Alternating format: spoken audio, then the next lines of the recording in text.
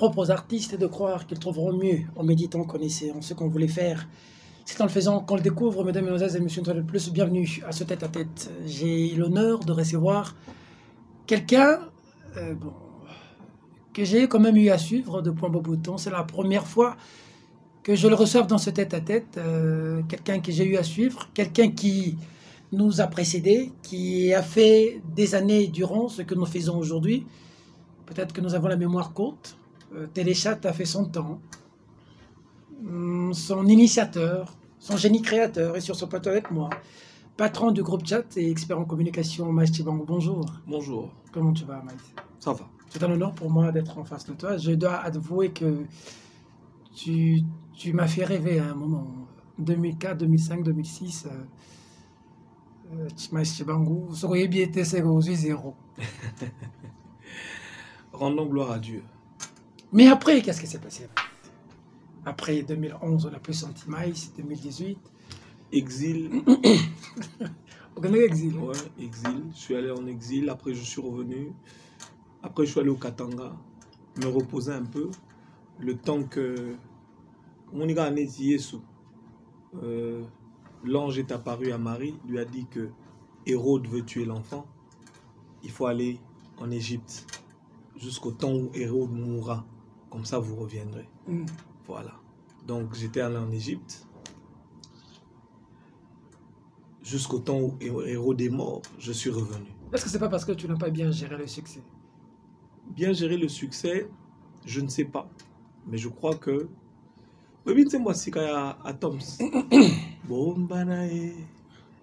esika jezabele na bato na ye bakokoma te eh. bomba na eh, biso baya nzambe tozalaka na maboko ya nzambe donc esengaka heure moko kobombana na se ya mapapu ya nzambe ti jezabele na bato na ye bakoleka ti erode akokufa apres soki erode akufi bobimi mpona orenge neti kaka krist babombaki ye mm. na egypte mokolo erode akufaki ange abimeli sikoyo marie abi bo bokoki kozonga parce que moto abandaki koluka mwana asali nini akufi bobi obimi sikoyo mpo eza faci makila egangi eh, mpo erode akufi te erode nde nani moto abandaki koluka koboma vision ya nzambe mpo na congo nani ye yo oza moto ya masese te opesanga mai toyeba yo bandaka tezela mai ezali te mai eza te Oh, soki mai eza te te soki mai eza te hmm.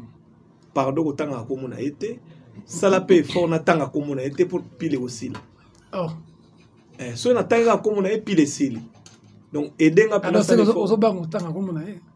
te asilisa nga nde bapile nani wana yango nalobi émission ekokatana oh. eh, donc tokendaka na émission malema malema so yo olingi otanga nkombo na ye lobaka yango na mongongo makasi te mpo ntango ezokota na matoi na ngai deux fois trois fois pile esili émission mpe esili erote nde joseph kabila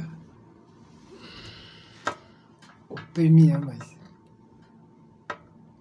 tokende na makambo mosusu tu veux dire répondre à mes questions mais pile oya aussi là pardon bosomelaka mai nani gina somelaka mai bon ça va on comprend olingi otanga hmm. kombo na ye te non ce n'est pas que nalingi kotanga kombo na ye te hmm. kombo na ye esilisaka nga bapile ah. eh. mais babika kobimi sikoyo mpo donc makili egangi kasai elobi na kati na yo ndeko na kasai na pouvoir alemaiche bango azongi nzoka asi asilaki na ye akei makili egangi oui je le reconnais makila ya klistu nceto nceto te nalobi boye mm. makila ya ngai na félix eza makila ya klistu j'ai toujours dit aux gens qui me suivent je soutiens félix je n'ai pas honte de le dire je le soutiens parce qu'il est chrétien Tu as vu que tu le soutiens Ayamba quand, Yesu. quand il est devenu président, quand il était dans l'opposition, est-ce que tu le soutenais aussi Oh, boyokanisi bokutanaka na ye tokutanaki dernièrement na consultation bon en tout cas jour bokutani lisusu tuna ye toyebani tobanda kosustenir lelo te mais ntango yo ozoloba ono mai sibanga bandi mosala oyo ça fait 20 ans banani banda kotinda biso toloba banani banda kotinda biso na balabala ah, loba lelo toyeba banani kasi papa na félix hmm. ngai yambanga deux fois apesanga basecret mosusu nakoloba yango na tv te parce que wana ezaka ngai na ye une fois je suis allé le voir à son bureau une première fois il m'a invité une deuxième fois je suis allé le voir il a fait sortir tout le monde il m'a parlé et dans ce que je vais, dans ce qu'il m'a dit ce jour-là, je peux aujourd'hui révéler quelque chose. Il m'a dit, ôte la peur. Qu'on t'arrête, qu'on te fasse tout ce que tu tout ce qu'on va te faire, mais n'aie pas peur. Pourquoi Parce que ce sont eux qui ont peur de toi.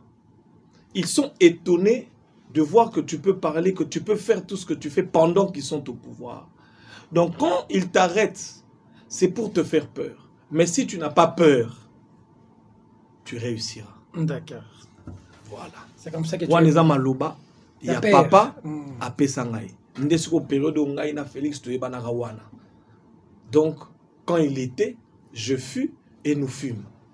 D'accord. Incessamment, le président de la République, celui que tu appelles Félix, euh, va parler. On parle de ce dimanche après-midi, 14h30. Qu'est-ce que Maïs Tchebango attend de Félix Tshisekedi dans ses dires l'autre, Ça va peut-être vous étonner. l'autre, Je suis aujourd'hui dans une autre optique. Hmm. La Bible dit Maudit soit l'homme qui se confie à l'homme. Nous allons soutenir Félix. Nous allons prier pour lui. Mais Félix n'est pas la solution pour le Congo. C'est Jésus qui est la solution pour le Congo. Donc nous, nos yeux sont rivés vers le Christ tout ce que Félix dira, nous dirons oui et amen oh. Eh. oza mamba politike ezalaka bongo te te wana sikoyo eza politike bato ya kabila mpe lobi bakokoloba bongo te pasteur mugalu azalaki na discours ozoloba lelo eh. yango nalobi faut être rivé vers jésus abimisi na babible eh. la prédication de l'évangile est une la prédication de l'évangile est une folie pour ceux qui périssent moi je crois en jésus jésus m'a dit je vous ai envoyé félix mm, donc ce que félix dira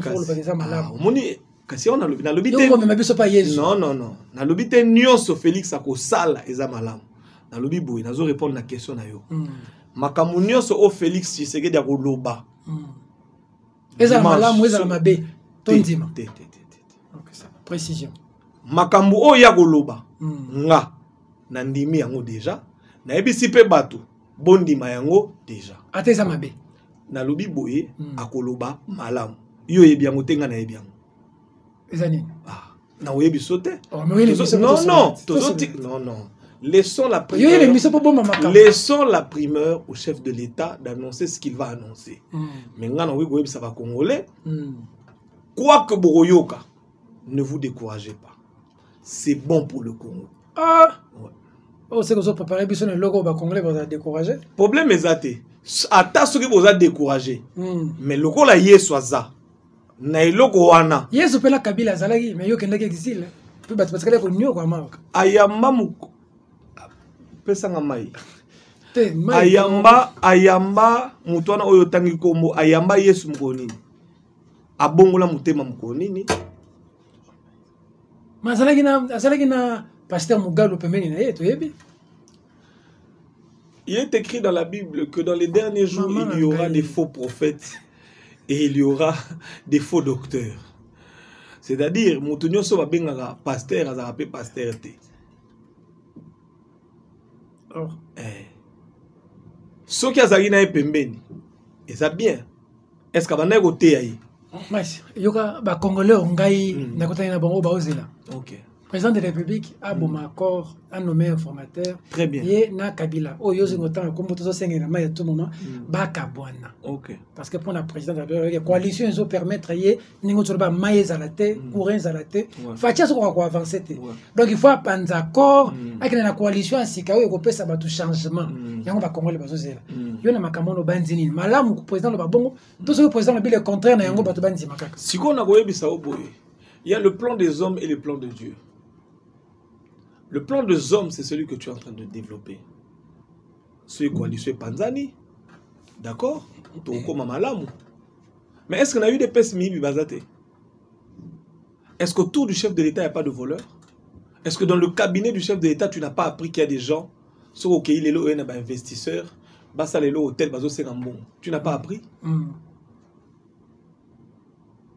il faut comprendre mm. quel est le plan de Dieu pour le Congo.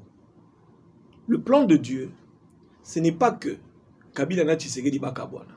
C'est quoi Le plan de Dieu, c'est que biso ba Congolais tozongela Nzambe. Euh. Eh. Ba Français ba sambela te. Si on a lobby boye. Ba Américains ba sambela te. Yango na lobby. Ba Français ba Français, ba Américains ba Américains. Ba sambela te. Biso tozali mboka nelaka.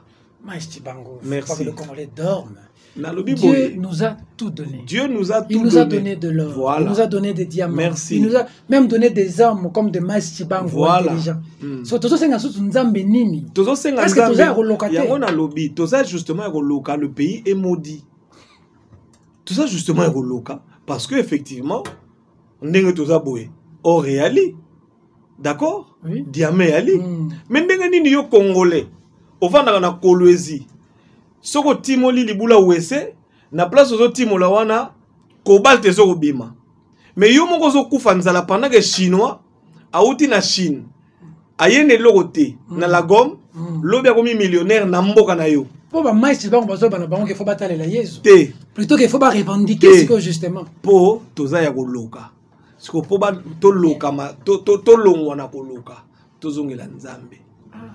eh, c'est ça la réalité opium du peuple oyo pene bateki non pas du tout eh, non pas du tout apôtre maïs le peuple, le, peuple non non non le peuple il y a deux choses. Le niveau spirituel veut que l'homme rentre à la source qui est Jésus-Christ.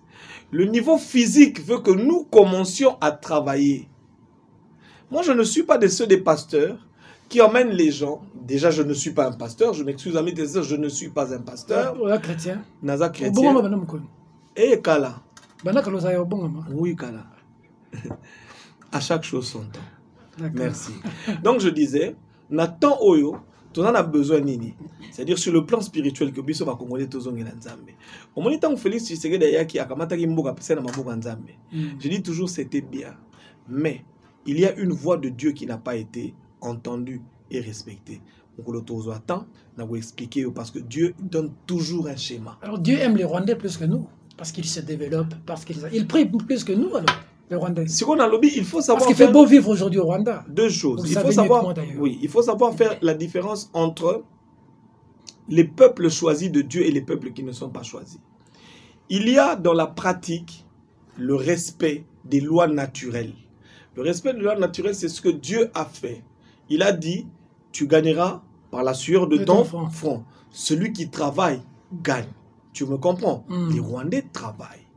Les Rwandais ont mis de l'ordre et les Rwandais gagnent leur vie. C'est normal. Nous, on prie. Comme, non, non, non, Yokanga, s'il te plaît. comme les Français, comme les Américains, comme les Arabes, toutes les personnes qui travaillent, ils sont bénis parce que c'est une loi de la nature imposée par Dieu. Mais à la différence de ces personnes, nous, nous avons deux dimensions. La première dimension, nous sommes un peuple élu de Dieu. Israël. Israël israel ezalaki te Mati, nzambe bomati bobuki ça c'est la première chose la deuxième chose c'est à dire nous devons régler notre problème avec dieu et ensuite commencer à travailler tu comprends la chose ça veut dire qu'aujourd'hui prier est une bonne chose pour le problème na Dieu tango ba dirigeants na biso bazo yiba tango matata bukanga lonzo na peso par exemple na peso par exemple tango muzito asali bo yibi na peso exemple na peso exemple moko ya tango kingaka te tongami mais Congo tongami te biso to sambela kaka na pesa yo exemple moko ya terre à terre ba pasteur so okele yo na église ba pekisa oyo ka musique awera mm. tu es d'accord avec moi mm. o oh, ba JB mm. ba Kofi bato badia bulu eh, oh non bato badia bulu toyoka musique na bango te mm. tu es mm. d'accord avec moi oui. mais les mêmes pasteurs soki tozokende na baélection pourquoi babebisaka bachrétien te batala état d'âme ya bato oyo bango bakovote parce que c'est quand même aberrant de voir que dans un pays bozopekisa moto yoka musique awera mais bozotika ye avote kingakati nayebi te soso comprendre nga mm. bato bakendaka na cimetière bato balokaka bato bapumbwaka na butu basalaka kindoki bino botiki bato na nzambe boke kovote bango siko ntango bango baye bazosalela satan mboka ezosala nini ezokufa bato yango bapumbwaka bavota na ah butu na poto mm. baza mm. bamacron baza mm. bavladimir baputin na états-unis toyebi na bango ebele baeliminati mais bazosala ke population na bango évolue bandoki ya congo nde baza litama est ce que jusque là mamutu na explique ocomprendre te nous sommes un peuple élu notre problème notre problème nous sommes un peuple élu bazozokende biso nati nde toza élu boye sikoyo donc fo tozongela yezu après ale mboka echange nalobi boye un tozongeli yezu ya liboso to ote malédiction deux tokota sikoyo na mosala omoni par exemple ndenge bapaster balamusaka bato na ntongo ono oh mama yaka banda ntongo midi pokwa kota pre banda kosambela moi je suis contre ça Parce que je suis pour que le peuple travaille. Parce qu'il est écrit que tu gagneras ton père la sueur de ton, de ton front. C'est-à-dire que nous devons mélanger les deux. Hmm. Et la prière hmm. et le travail. On va attendre ce que le président de la République va dire, mais il ne faudrait pas ah. qu'il soit jeté dans les dépotoirs de l'histoire s'il ne rencontre pas ce que toute la population veut. Hein. Nous savons ce que veut la population. Il ne faudrait pas que le président nage à contre-courant, ça, ça, ça, risquerait de lui être fatal. wana tozela kaka dimanche ye moto ayebi makambo akoloba ye moto akoloba pendant ce moment kabila à lubumbashi etali ye réaction oyo eza nini etali ancien chef d'état azoki mais nazo explique yo ke kombo wana esisanga bapile ozolinga otanga na kombo na point eza actualité azoki lubumbashi mais akende te ayi kutana bakatange akende te alinga bakatange mingi yango azoki kutana na bango oui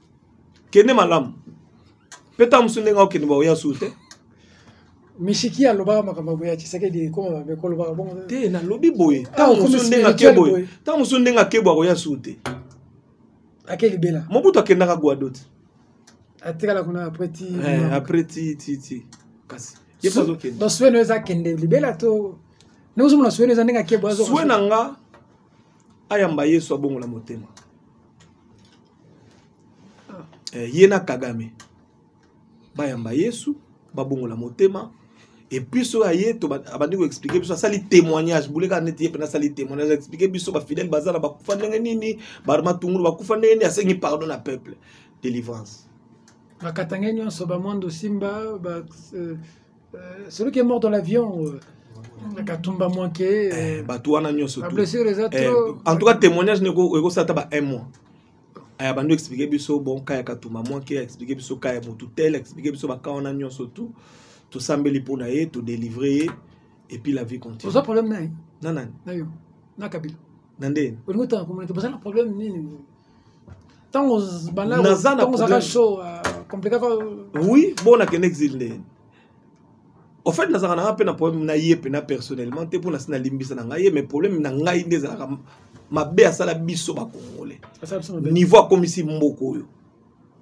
ndenge biso tokomi un pays de mendiant un pays de fou c'est-à-dire que tout ce qui était la crasse tout ce qui ne devait pas être est bakamati likolo na gouvernement na députation bato bakoki kozala badepute toyoka ono moto apusu moko boye azalaka na succès na, na, na, na kindu akoma depute o oh, danser moko boye azalaka journaliste eh, abinaka binaka ayaka na bakisi ngunza akomi euh, depute daniel safo te nayebi te ah, ono eh, c'est dire au sentir pena batu moko boye en fait baya na bango po ani batya bango wana yo ozali kandida ozwa te mais yango kasi yango na explike na lobi oyebi nga nakoma député te mpo na nini parce que justement bon okoki mpe kozala na raison mpo na urne nazalaki te mais en tout cas bato oyo soit disant bavota toyokaka mpe ngai nayoke peuple alobaka vota bango te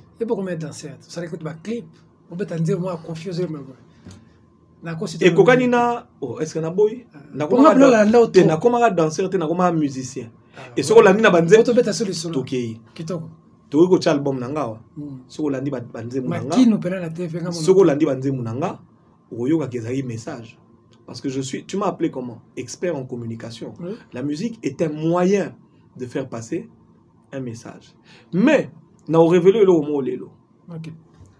omoni miziki wana ntina osala yango eza noka mpona odistraire bato ah. eh. polani kasi seri wana nde alingaka bomanga te nde ah, omoni nde nakotaka na miziki ntango nakoti na miziki eh. ababi ah, wana azalaka liboma ye bamambo asalaka te parce que sirement bagressaka yo mpe ah, omoni ya nabi il faut koyebaka makambo na nzambe epuis il faut koyebaka mpe bato na nzambe nde nini basala nini bafonctionnaka c'est-à-dire que ntina komaki na niveau moko boye na mati mpena tellement que bakoma kosalelanga mpena bareunion na mongalimo bavandi babi bopetisa tokolia ye ndenge nini bu seri moko te baagressa yo eh, seri moko te mbala ebele baagressa nga alors inspiration nduliste babia petsanga aza aventurier baaneli walingaka te tobomela ye moto na vivante sino te ero nde tolia vungule na fidèle baza na soki mpe na lifelo soki na lola nayebi te sikoyo ntango yo ozopendre tableau ya kabila me bato bazoinsiste awa kifo azonga bakoko ndenge na yo soki tolandi lelo tout le monde nani koko nyangi nde nani honorable koko nyangi azali mpe ministre awa ye mpe noza sira koloba nini bango balobi ke kabila azozonga parce que mboka na minute ndenge ezotambolela boye eh. en tout cas 2023 foka mais bazongisa ye te problème eza te bazongisa ye te omoni awa toza suna makambo ya nzoto te tomi na makambo ya molimo ngai nangi namona moto ya kozongisa ye awa na mboka oyo azonga na bayurna azonga na nini kabila okomi kosenga zonga ingratitude esali na banzembo ingratitude ebimi omoni problème eza boye nazobangela yo omoni ete biso tobangana na biso nazobanga bakanga bakanga chaîne na yo na explike oyo kaka ke awa tokomi na makambo ya molimo oyebi yesu babengaka ekindoki ya basantu ça veut dire tokomi ya makambo ya koloka ça veut dire ke nde toza boye tokei tozoyebisa nzambe mm. lokola biso ba maestro aza na mboka oyo mm.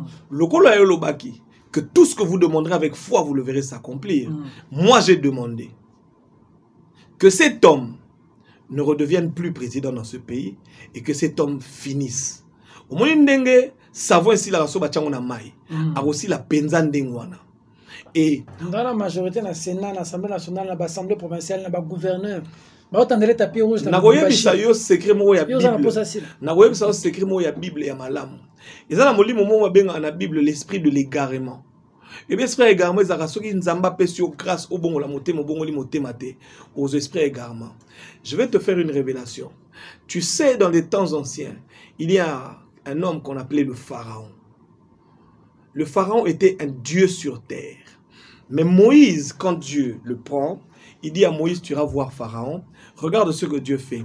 Il dit, j'endurcirai le cœur de Pharaon pour que le jour où tu iras demander à Pharaon de faire sortir mon peuple, Pharaon n'acceptera pas. Ainsi, moi Dieu, j'agirai. Pourquoi Pour que le monde sache Amen, que ce que je vais faire, il n'y a que Dieu qui peut le faire. Au monde, a la majorité na parlement. Nzamba Zarabongo. So alinga kwesa, faut matisa yo, ça dit bako matse pena bien. Majorité na parlement. Roi de Kingakati.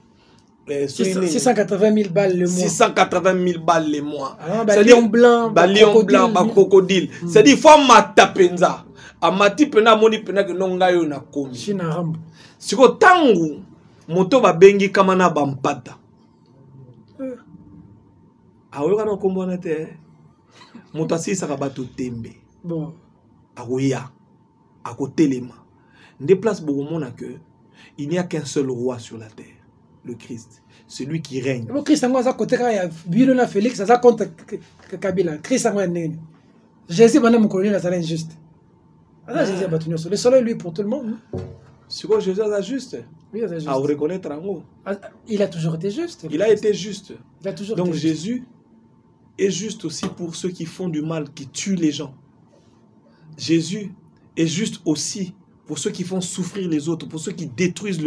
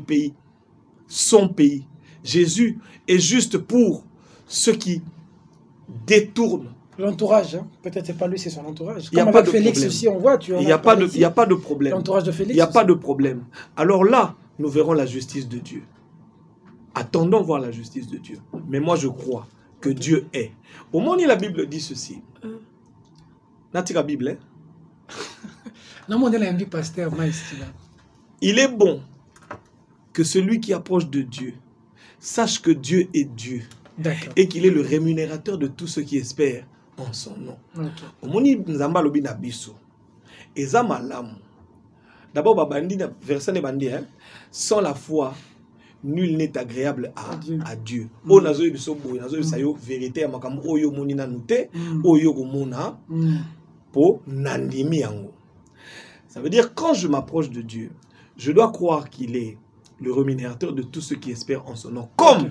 nous serons payés nous okay. biso bato babengi bayengebene mm. bokomona suite na bango okay. et ne t'en fais même pas apporte mais à mm. césar ce qui est à césar mm. à dieu ce qui est à dieu oui makambo tobete eza mamba césar hmm. okotisa nzambe ndeni ye yesu moko alobaki yango césar mba pouvoir euh, mm. ya makambo ya césar ya makambo mokili ah. à dieu ce qui est à dieu omoni bato nyonso na site bakolela basi ya basoda oyo bazofutama te mm. bana mike leo namoni na internet fille moko ya 8 ans azosala kindumba mpona akende olesa mama na ye mm. mama na ye azobela mm. pendant ke esika telemi wana eza na minere eza na or eza na diamant mm. bato bazo koyiba ba or bazo koyiba ba diamant bazo kodetruire mboka mpo fia na lia te mm. biso bato toza kofukama kolela butu moi mm. soki nzambe ayokaka nalobi ezala nzambe ayokaka tosambela trop mais mamboko yo sambela tosambela trop te natuni osambela ngai nabongamaka avant yo yo obongamaka avant ngai eh, kala ah. ngai naona okozala mokolo kozala mokolo na kobongamatuni kaka tokozala mokolo na kobongate naboyi te nalingi nalobela omona natuni kaka ngai naona nakozala mokolo spirituellement yo kozala leki leki eza mokolo na yo alors soki po yesu azalaki leki mais azalaki spirituellement mokolo mais te lokola oza spirituellement mokolo donc oyebi mpe que soki nzambe ayokaka ere oyo nzambe ayoki bacongolais hmm. eh. mpe eloko ezoya awa nakotula fayulu mambo ozoloba yake nobina tika ya non non non epuis nani ibenge ana besoin na ye soki alanda émission na yo ibenge mpo badada wana abetaki impeccable to na besoin numero 9 moko bongo akende léopard atika ne politique ye mpena léopard numero 9 wana pota mtazolotofachiste mtazolo eza kaka ngai oye mpe asambelaka jésus siko ye mpe jésus na ye siko okoyoka ya yo to okoyoka ya kabila monike na minute oyo jésus akomi tiraye de kote ya mais kote ya ya président élu martin fayul sikoyo soki jésus aza tiraye mm. bible ezalaka kaka moko liloba nzambe ezalaka kaka moko il arrivera un temps car le christ a dit laissez le blé et l'ivraie grandir ensemble mm. quand le maître de la vigne viendra il séparera d'accord wapi ivraie wapi vérité des jeunes balobi problème eza te kimoyibi yesu aza moyibi te bango nde baza na yesu problème eza te tokoyeba yango kaka mokolo nzambe akoloba yango kabila mpasi alobaki accord mm. aconfirmaki président mm. élu mpasi mm. na yesu azati yesu azalaka na mensonge te akoloba omoni mikolo tokenda awa eh. d'ici 2 3 4 semaine eh. boyeba makasi na nzambe ok Albert Yuma persiste ah. ici. Il reste à la tête de la FEC. Ah. Mafotaki ye. Akotikala na tête ya FEC. Conseil d'État et euh, telemeli yango mais balobi baza asbel makambo ya l'état akotiya euh, kotelemela bango te barejete décision ya conseil d'état baza asbel wapi na congo sikoyo asbel na congo bakorespecte mibeko ya congo to bakorespecte mibeko ya kingakati mais asbel eza makambo na bango donc non, je suis d'accord donc euh, conseil d'état koko ya kosala immixtion na makambo non non toyokana bien tokende malembe mm. les asbel répondent obéissent aux lois des pays oui. dans lesquels mm. ils sont implantés. Exactement. Parce qu'ils ont la personnalité juridique mais voilà. au ministère de la Justice. Personnalité juridique en gros. Mm. Ye moto tangi komba kene ko zongo. Albert Yuma. Eh kene ko zongo na kaka. Hmm. Te non non avanda. Ah, Ye siko personnalité juridique azo ko na kinga kati to azo ko na Brazzaville. Azo ko na ministère de la Justice. Na ministère de la Justice. Mm. Kasi gouvernement. Mm. Kasi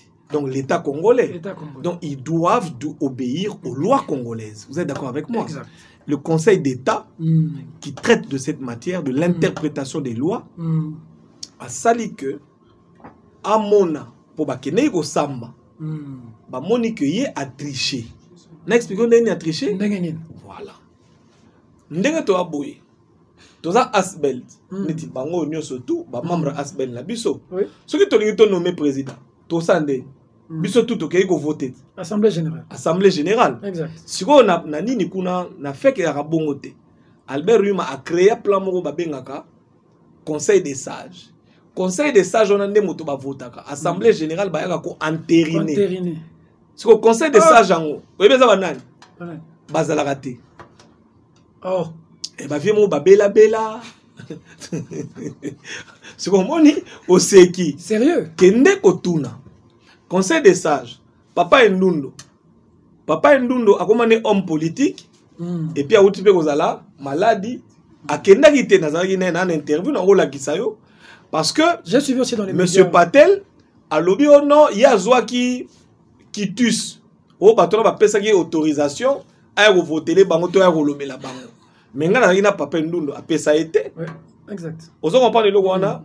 papa congo ça fait un an papa wana abelaka amonaka mutu te aza kaka na mutu moko amonaka na mboka oyo euh, monsieur mukamba kadi ata nzemba mm. je te donne l'information tu peux vérifier mm. lumukamba te papa ya balumukamba voilà donc le seul moto oyo amonaka celui de la miba eh. mm. papa kindwelo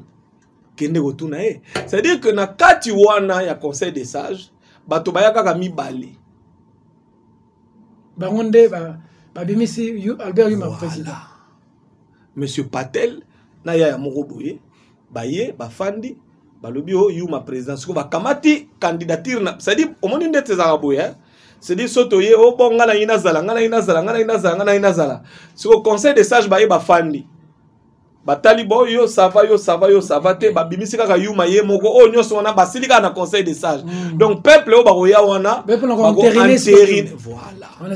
sikoyo déjà rien que au niveau du conseil de sage le quorum n'était pas atteint parce que les cinq n'étaient pas là il n'y avait que deux personnes bamasta na ye atelemeli akende tibe oh. akokende tibe obe batumbuktu obe bakuala lumpur akosala loi na ye mpe kuna abimi mpe président eh, mm. akobima mpe eh, mokonzi afeka kuala lumpur awa na congo te te aza déjà na minute balobi barejete sikoyo te sikoyo problème eza te conseil conseil d'état baninga na ye conseil d'état baninga na ye bapeti na ye oyo ye quelles sont les mesures de coercition non mesure ya coercition eza te nalobi boye cani eyaka neti ngai na yo boye tokei toke kosamba na parke hmm. parke bacondamne yo yo olobi orejete orejete eh, nani mesure ya parke hmm. esali parke nini nayebi te so ozokomprendenalobi boyeconseil d'état kosala eloko te napesaka exemple ngai na yo toke kosamba na parke parquet balobi bon ba condamner Chani. Mm. Yo Chani obi non, parce que baza bata lukuta ba condamner ngai nga naza na nga na na raison. Parce que mm. balobi okende ma makala. Okay. Siko yo ato boyo okende makala. Mais ba okango ba okende makala. D'accord. Siko na lobi boye. Tozonga sima. Mm. Et c'est là que je voudrais éveiller le sens ya bato ya ya fake mm. réfléchissez vous êtes quand même nombreux na fake wana boza quand même bata mayele boza quand même bata mbongo bakoki mpe ocorrompre bino te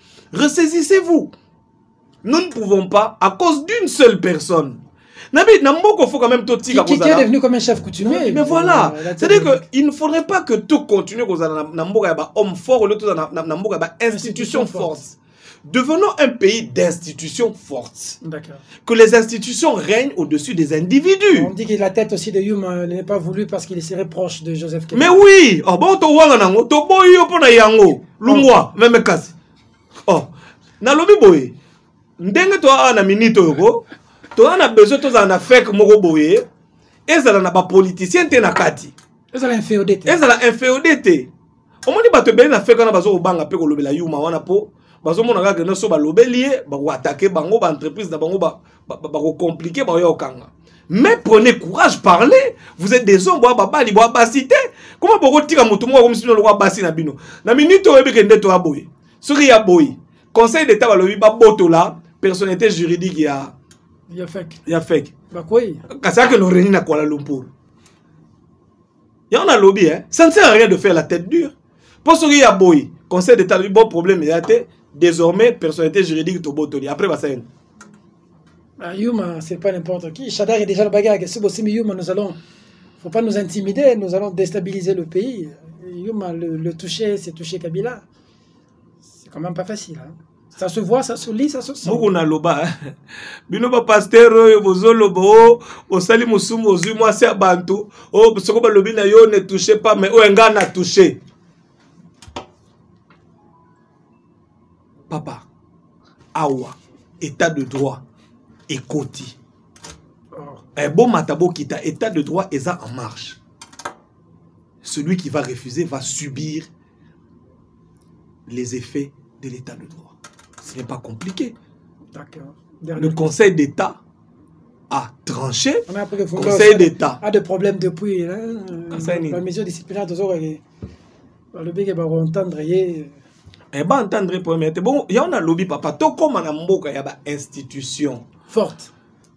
le conseil d'état ce n'est pas vunduawe mm. vunduawe viendra il passera si vunduawe va être entendu mm. le prochain président ya conseil d'état wana mm. akoya akosambisa mpe bakosala makambo donc na minute oyo ndenge eza yuma c'est la tête de kabila donc il faut le décapiter hein? balingi babloke projet ya faci congo ekenda liboso te yango nazosensibilize peuple congolais biso tozo kosoutenir ke yuma akenda mpo na nini mpo tolingi congo ekenda liboso simplement bokompe kokangakanga tomoni bokangi barnabe liberté d'expression mpe comme compliqué bon okopermettre nga na répondre na question wana hmm. liberté d'expression elakisi nini liberté d'expression mpene elakisi nini mpo na yo elakisi nini liberté d'expression elakisi te ke moto akoki koloba eloko ye alingi liberté d'expression elakisi okoloba bakokanga yo te mais dans le strict respect de la loi hmm, papa nalobi boye est ce que cani nde nga na oyo toza boye na plateau na yo nakoki kofinga yo nabenga yo liberté d'expression te wana liberté d'expression kasi donc tu dois être libre de parler mais dans les limites de la loi quand il a dit akolia mbuma akolia mbuma nani ayebi te ke akolia mbuma oyo elakisi bakobete masasi nani ayebi te oyo oh, il va manger les fruits dans le contexte nini soko mbuma yango alingaka lia mbuma adamu na eva to mbuma nini mbuma makako ah voilà dernière question mabunda sur une chaise éjectable visiblement te ya salongo déjà te aza president te alongwe déjà papa nalobi ezala moto ya molimo ah. biso na molimo tomoni déjà ke alongwe donc tobeta masolo na ye dans le passé bolongoli déjà mabunda te nalobi boye l'assemblée le fcc majoritaire ils ont fait une déclaration récemment yango nalobi sikoyo omoni jour yango base bakokita bakoya kotia bavoi na kati ya baurne ye mama wana akosala nini akolongwa olongole po asali nini bo toboyi kaka azala wana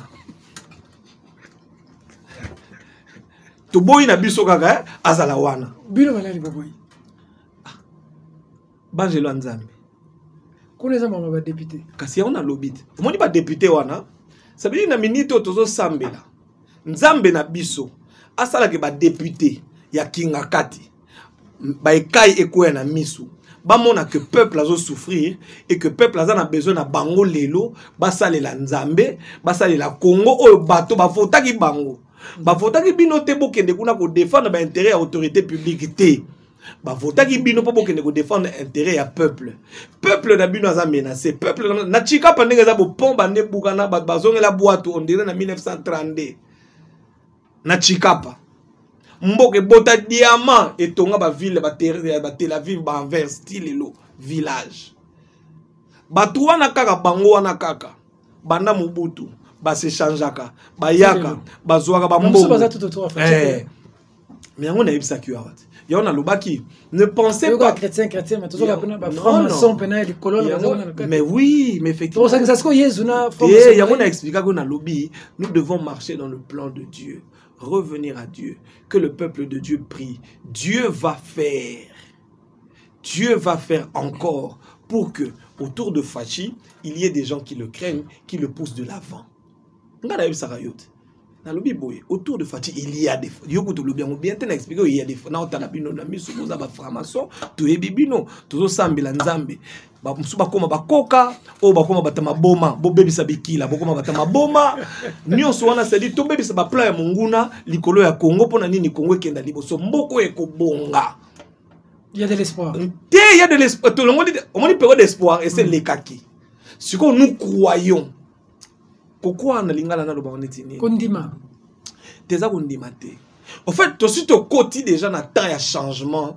ya nzambe azokobongola neti oyoka ona okinga kati ya kimi akei katanga akosuka na katanga te akei na nini na mboka na bango wana nini oyo oh, soki manono soki asoki manono akatisi abanda ofanda na lak avanda kuna akima te atala ndenge kongo ekobonga mpo moni nzambe asaka ndenge nini mm. nzambe mpo na ahumilie bien baosala lokwa mobutu te mpo mobutu akimaka na maroc akufi te mm. yo fo vivre omona ndenge nzambe akotombola kongo omona ndenge nzambe akotombola faci omona cetadi banguna na biso fo pa bakufa banguna na biso fo bamona miracle ya nzambe na kati ya congo bamona ndenge nga mais nakoma danger na mboka oyo mm. benzula mpena ozalaka deja danger te nakomi nanu te te nakomi nanu te tala motuka na otambola nango fo mpena kar mpena ya sika ebibi mpena na basache na pasoli ntango na opanche boye naloba aleluya tokumisaka e eh, yaya cestadire omoni omoni cestadire fo tokoma mpena na niveau ya tofongoli tv totie batémoignage en chaîne wana nzambe wana nzambe azomata c'est encore possible c'est encore possible. Maïs, merci beaucoup. Merci. C'était un honneur. Mmh. Je vais aussi dire que vous êtes un aîné dans la profession. Euh, un hein, travail euh, euh, avec, euh, je veux dire, beaucoup de bravoure que vous avez fait. Moi, vraiment, c'est un honneur de vous recevoir sur mon plateau. Peut-être les gens qui me connaissent, qui vont vous voir, certains peuvent voir aujourd'hui, mais qui ne savent pas réellement qui vous êtes. Mais ce que vous avez fait pour ce pays reste dans les annales et qu'il est difficile de l'oublier assez tôt. Merci beaucoup. Euh, c'est une décennie passée, mais je me souviens encore des émissions. Merci beaucoup. Téléchat. Euh, ezonga susu makasi osala biso bien ça nous manque tozongisa euh, lokumu na nzambe euh, ezongisa na biso pena batelechat wana c'est lui qui crée en nous le vouloir parce que lelo nayambi fan nanga nga aza fan na yo okay. enfin nayambi bawa idole hein? e eh, idole nga aza fan na yo vraiment mpasi koloba ngo na tv bato balingaka te mais kozongisela biso batele chaque zongisela biso eh, ah, olanda tele zaire te tele zaire tele zaire tele zaire sur chat tv eh, suka suka po mikolo naleli mpe marius munga